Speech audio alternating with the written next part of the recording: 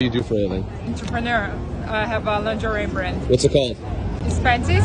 Okay, I'll plug it in. Thank you. Thank you. Excuse me, what do you do for a living? Uh, I work at a store. It's called Mad Under. It's a luxury discount store. That's what's up. Thank you. What do you do for a living? I'm a physician, Best part of your job. talking to patients and my colleagues. That's what's up. I could be your patient. Really? I have patients. I don't think so. What do you do for a living? I'm a therapist. Really? Yeah. Where? Um, it's called Resilience Lab. Best part of your job. Being able to learn a lot about others and myself. Okay, I think I need one, so I think I'm gonna give you a call. Okay, sounds good. Excuse me, I like your outfit. What do you do for a living? I'm a marketing analyst. Best part of your job. The people that I work with. That's what's up. What do you do for a living? I'm a nurse. Best part of your job.